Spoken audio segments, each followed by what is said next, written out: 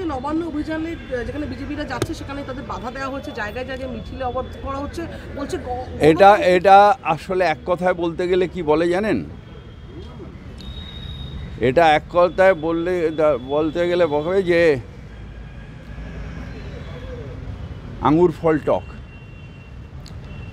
অর্থাৎ, লোকজন নেই, বিজেপির পর্যবেক্ষক বানসাল সাহেব বলে গেছেন। যে আপনাদের শুধু নেতারাই রয়েছে বিজেপিতে, তার তলায় কোনো ক্যাডার নেই, কর্মী নেই। তাই কর্মী নেই, তাকে বাধা দেবে কাকে? হাওয়াকে? যে কজনকে নিয়ে এসছে, বিহার, ইউপি টিউপির থেকে জোগাড় করে কিছু দুষ্কৃতি নিয়ে এসছে। আর কর্মীহীন একটা পার্টি, শুধু কিছু এজেন্সির দ্বারা আর আপনাদের প্রচার যন্ত্রের দ্বারা একটা পার্টি বেঁচে আছে।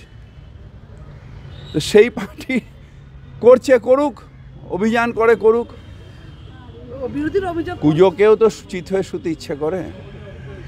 বিরোধীর অভিযোগ করছে এটা গণতান্ত্রিক পদ্ধতিতে তাদের বাধা দেওয়া হচ্ছে কোনো গণতান্ত্রিক কোনো গণতন্ত্র আমাদের এখানে ধ্বংস হয় না। লোক না থাকলে বাধাটা কাকে দেব? পুলিশ বাধা দেবে তো লোক দরকার তো। কোথায় আপনারা দেখাচ্ছি যে লোক আছে সেখানে আমরা বাধা দিচ্ছি। আর কেন বাধা দিতে যাব?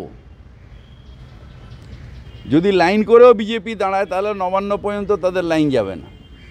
তো আমরা বাধা দিতে যাব কেন? আমরা কি পাগল না বিজেপি? কোনটা? সাঁতরাগাছি হাওড়া ব্রিজ সব জায়গায় রেলিং মানে লোহার না রেলিংটা তো প্রিকশন মেজার তার যেখানে রেলিং তার আগে পর্যন্ত ওনারা আন্দোলন করবেন সে তো আমরাও করেছি। আমরা অভিযান করতাম আমাদের স্প্ল্যানেড স্টে দাঁড় করিয়ে দিত। তো যেখানে পুলিশ পারমিশন আছে সেই পর্যন্ত করবেন।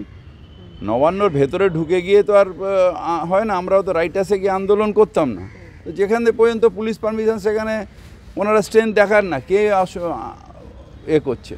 দিলীপ ঘোষ বলেছেন যেখানে বাধা দেবে সেখানে সংঘর্ষ হবে। আর সুকান্ত মজুমদার বলছে চোখে চোখে রেখে কথা হবে। চোখে চোখ রেখেটা আপনাদের এই এই চ্যানেল থেকে শিখেছে। কারণ নিজেদের তো কিছু ডায়লগ নেই।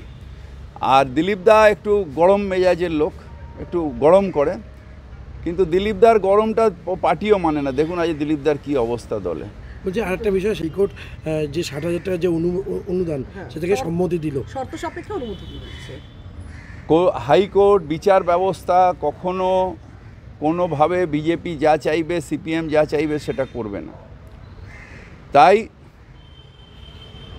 মমতা বন্দ্যোপাধ্যায় কৃষ্টি সংস্কৃতির ওপর জোর দিয়ে দুর্গাপুজোটাকে আজকে ইনটেঞ্জেবল হেরিটেজ দরজায় ইউনেস্কোর সম্মান পেয়েছে।